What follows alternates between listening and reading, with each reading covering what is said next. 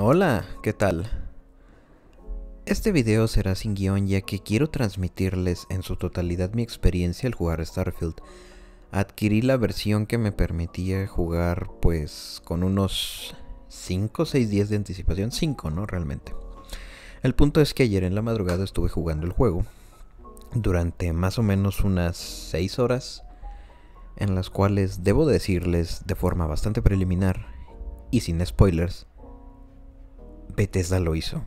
Realmente Bethesda perfeccionó todo aquello que venía trabajando anteriormente e hizo un juego que si bien no creo que sea una obra maestra aún, porque falta el contenido que agreguen los mods del Creation Club y los mods de Nexus que van a venir, según tengo entendido, en el sistema toda la vida que es compatible con el Creation Engine, que son en XP32. Modders, corríjanme, no estoy del todo enterado. Pero el juego es bellísimo. Yo lo jugué en una serie S y les puedo decir que el juego tiene una fidelidad gráfica, tiene unos detalles tan bonitos. No tomé muchos clips del juego porque en cierto punto ya estaba disociado entre el sueño y seguir jugando, pero sí les quiero decir esto. Cuando llegue Starfield al Game Pass, van a tener una experiencia de juego inigualable. Vamos a comenzar con cómo me recibió el juego. Muchos se quejaron de la pantalla de inicio, dicen que el menú de inicio es algo pues primitivo, soso, aburrido. Yo siempre he pensado que nunca juzgues un libro por su cubierta y sobre todo, tampoco un videojuego. Además porque este es un videojuego de Bethesda, y ya sabemos que los videojuegos particulares de Bethesda, los que hemos estado acostumbrados a este tipo de juegos de rol RPG, el menú simplemente te va a transportar a la verdadera experiencia. Ahora en juegos pasados como Fallout 4 y Skyrim, realmente venían otras cosas como los mods All Creation Club, el cual este no tiene de salida por lo menos lo que fue el primero de septiembre. Dudo aún, aprovechando esto, que el 6 de septiembre venga con mods. Yo estoy casi seguro que se va a tardar 6 meses a un año, quizás menos, no creo que se tarde más de un año, pero vamos, entras y cuando estás jugando es realmente la experiencia, no desde el menú. Después de esto con lo que te encuentras es el clásico momento introductorio al juego. Empiezas como un minero, estás en una mina la cual tiene una fidelidad gráfica. A mí me asombra el nivel de texturización que se puede lograr. Todo esto está capturado en una Xbox Series S. Y es bastante bueno, en ningún momento me decepcionó, los 30 FPS son estables, Claro, si eres muy exigente con la calidad gráfica, ¿no? Porque si realmente no te importa esto, pues el juego te va a impresionar. Tan solo en esa mina vi unos entornos los cuales te transmitían cierta sensación de inmersión, como si de repente estuvieras jugando un videojuego de terror. Y eso es muy bueno porque hay particulares momentos en los que no solo en la introducción, válgame, yo me perdí por el espacio, me perdí un buen rato. Quería ver qué tanto avanzaba la nave y en cierto punto dejé de ver estrellas y todo era una masa negra. No sé si eso es un bug, no lo capturé, lo voy a replicar para subirlo en shorts en YouTube. Pero lo que sí pude ver es que había una especie de nebulosas, porque aprecias muchos fenómenos cósmicos. Yo no llegué a ver cuasares, en Reddit dicen que se ven cuasares en el espacio, pero yo sí llegué a ver un montón de fenómenos extraños. No sé si sea el inicio de otra quest, porque si puedes deambular por el espacio. Seleccionas un mapa estelar con el cual vas y aterrizas en los planetas, haces viajes interestelares, el hiperespacio, le llaman salto de gravedad, si no me equivoco. Y yo creo que en eso debe de haber un montón de quests ocultas, porque yo llevo 6 horas jugadas, no es nada. No es como esos juegos en los que apenas pasas del menú principal, que podrá ser muy bonito, ¿no? Y ya te pone progreso avanzado 2 o 10%, ¿no? En esto te apuesto que puedes jugar hasta 100 horas y no vas a ver ni el 10% del juego. Y sin afán de exagerar. Claro que ya, con el tiempo, en mi experiencia y la retroalimentación de muchos jugadores que lo estén subiendo en YouTube, en plataformas de streaming o en cualquier otro tipo de red social, vamos a ver si realmente el contenido pues es de mayor calidad, ¿no? Hasta ahora lo que yo me he encontrado, pues tiene la firma de Bethesda, pero perfeccionada. No hay bugs, no hay tonterías. Vamos a hablar ahora de un poco de la jugabilidad. Jugablemente se nota que han mejorado bastante. Disparar armas en Fallout era engorroso, no me gustaba. No entendía el porqué de las animaciones de retrocesos y la mayoría de las armas eran láseres. Yo no sentía que en ningún momento fueran potentes porque en la mayoría de los videojuegos de Bethesda los enemigos son esponjas de balas, más en los videojuegos que tienen que ver con el nivel. En este disparar se siente bastante bien, por lo menos en consola, porque no lo he jugado en PC.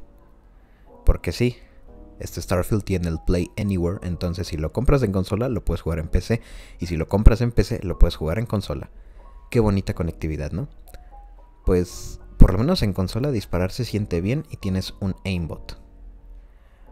Otra cosa de la que quería hablar es de la creación de personajes, la cual es brutal, es demencial, o sea, puedes elegir el, tipo de cuerpo que quieras, Puedes personalizar los rasgos faciales, los dientes. Realmente tiene un creador de personajes súper completo.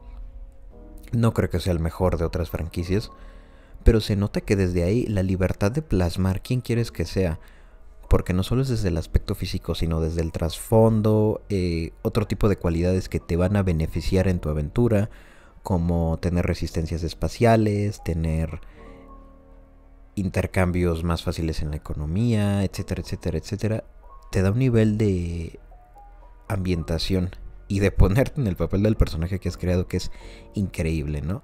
En otros aspectos, el manejar la nave en el espacio es medio engorroso, no te lo voy a negar. Las naves se sienten como lo que deberían. Son, pues se siente el peso, la dirección, tienes una configuración en la nave la cual puedes alternar para desviar energía hacia los motores, llevarle energía hacia las armas principales, hacia los escudos, hacia el motor gravitacional para hacer saltos en el hiperespacio. Es increíble, o sea, tienes todo el fenómeno del espacio como tú lo has querido. Yo no lo hice en mi partida, pero según sé, puedes estacionar la nave y puedes salir. No sé, se ha dicho yo no lo intenté, no creo, pero si se puede, pues también compártanme sus experiencias en los comentarios, ¿no? Otra cosa bastante buena es que cada planeta tiene un entorno el cual sí te puedes perder, o sea, es casi un Skyrim aparte, un Fallout aparte, de verdad. Estuve dando vueltas, viendo la ciudad, solo una. Yo solo he encontrado hasta ahora seis planetas los tres principales siguiendo la línea principal y por ahí deambulando en el espacio me encontré otros tres. Uno que no estaba nada poblado, que era de esos famosos planetas de minerales, y otros donde realmente no los exploré tanto, pero el que sigue la quest principal fue wow, ¿no? Yo me iba por aquí, había NPCs, que los diálogos de los NPCs pues es un juego de Bethesda, sin embargo se siente esa vida, se siente esa inmersión. Creo que realmente han logrado lo que ellos mismos mencionaban, el proyecto más ambicioso con el cual habían deseado trabajar y ahora con el respaldo de Microsoft, que creo que fue bastante buena la adquisición de Zenimax porque se ve la calidad en este juego. Como ya les digo, el tiempo nos dirá más allá si este juego tiene mucha calidad y no solo cantidad. Y ya desde vamos yo te digo, tiene calidad y cantidad. Uno de los aspectos negativos yo me atrevería a decir es que sí tiene ritmo, como ya les había dicho en un anterior video hablando de Starfield. Tienes enfrentamientos. Estuve minando en algunos planetas y me encontré con enfrentamientos con criaturas, con esto. Se parece mucho a No Man's Sky, no lo vamos a negar. Pero no busca ser No Man's Sky, o sea, no es el No Man's Sky de Bethesda. Starfield sí tiene su personalidad. Pero a mí sin duda me hubieran gustado ver aspectos de No Man's Sky como aterrizar manualmente, no con una cinemática. Me hubiera gustado interactuar de cierta forma un poco más con el entorno, que puedes interactuar bastante bien además de minar. No llegué al punto de las bases, todavía no llegó a eso en mi partida porque les digo, el juego es, es, es obscenamente largo, o sea, Este juego no te lo vas a acabar en un día, en dos, en una semana, en un mes, en un año. No, tienes para años de Starfield, más lo que se agregue con DLCs, más cuando salgan los mods, más el tipo de rol de juego que tú te avientes, más si quieres aplicar todo el contenido. Tiene un lore que se ve que es inmenso. Esto de los artefactos, que es la quest principal del juego. Pues creo que tiene algo de hasta de paranormal, no lo sé. Yo creo que es la típica historia cliché de los dioses extraterrestres, o quién sabe. Igual esta tiene dotes filosóficos, eso es muy bueno. Y otra cosa bastante peculiar es... El juego tiene una ambientación artística, además de su calidad gráfica, la cual se distingue entre todos, pero en algunos puntos baja, ¿no? me encontré unas zonas que tienen una textura y un modelado que parecía medio medio arcaico, no lo vamos a negar. Pero bueno, sí son zonas que no te vas a fijar. Fuera de lo de, aquello, pues cuando vengan las mejoras que se pronostican para este juego en consolas, patrocinadas por AMD, me imagino que va a mejorar toda esa calidad gráfica, ¿no? No les quiero spoilear demasiado la, la historia, la aventura del juego, porque realmente es algo que tienes que descubrir hasta ahora no se le puede decir es un mal juego, es un buen juego. Acaba de salir. Muchos todavía ni siquiera hemos completado una de las quests secundarias o principales. Yo les apuesto que nadie, ni siquiera los que llevan jugados pues dos días, uno. Entonces creo que es muy pronto para decir es un buen juego, es un mal juego, pero preliminarmente yo te diría es un buen juego y cuando puedas jugarlo en Game Pass el 6 de septiembre, te vas a encontrar con un fenómeno, con una experiencia. Con algo que solo va a ser equiparable a un Grand Theft Auto 6. Así te lo pongo. Claro, también si te gustan este tipo de juegos, porque puede que se te haga pesado el inicio y puede que te aburras.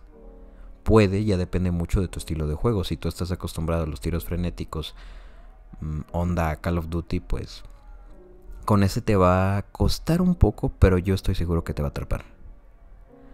Y pues nada más.